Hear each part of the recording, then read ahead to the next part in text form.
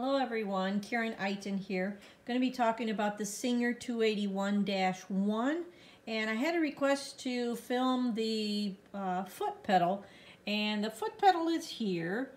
And all it really takes is to just push it and it, the machine will run, it will go, right?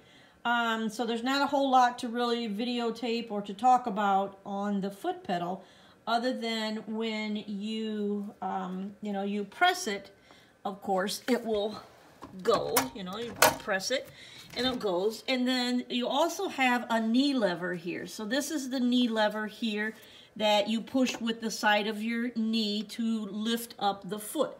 So see, the foot is down right now. And then when I go to push this lever, it raises the foot, right? So when you press on this little knee lever, it raises the foot. That's the only real thing to um, to really videotape about the, the foot. So the foot pedal actually makes the machine go. And then the knee lever here is the one that makes the, the presser foot go up and down. So that's really all there is to it.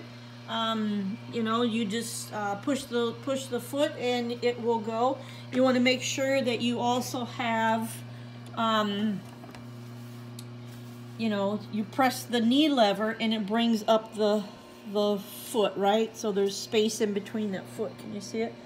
So you can get your material in and out of there.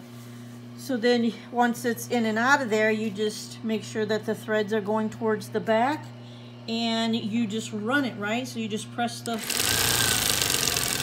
the foot pedal and make it run. And that's all there is to it. And then this machine, of course, doesn't have a back where it goes backwards, right? But what you can do is you can just, you know, hold it in place and do your tacking, right? So you don't have to like have a lever that makes the machine go backwards. This machine, you can just kind of um, move the material and make it go back and forth, make it go back and forth like that. So when you want to, um, you know, secure your stitches or whatever in your sewing projects, right? So, and then you can just run it off. A lot of times they'll put a little cutter on the back of here for production sewing where you have a little cutter here, a loop, and then you'll just stick it in there and it will cut off your thread. Um, so that's kind of handy for production sewing. But other than that, you just push the pedal and it goes. And then you also just um, lift your knee lever uh, to get your material underneath. And uh, that's really all there is to it. So thanks so much for watching this video. Please like and subscribe to this channel if you like the content that I share here. I would really appreciate it. Thank you so much. Bye-bye.